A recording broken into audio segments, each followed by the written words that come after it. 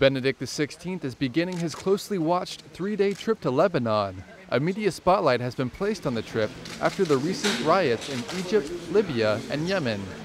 There is also the fact that the Vatican reshaped their response to the attacks that killed the U.S. ambassador in Libya.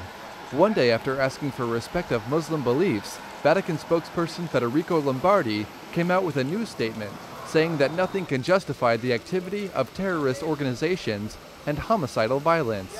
The violence erupted after a video posted online insulted the Prophet Muhammad. All of these recent developments come on top of the expectations of how the Pope would handle visiting a country that was next door to the ongoing civil war in Syria. Currently, Lebanon is handling a wave of tens of thousands of refugees.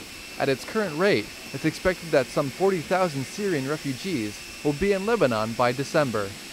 In addition to these realities, Benedict XVI will be delivering his apostolic exhortation on the Middle East, a document that will address the situations of Christians in the region.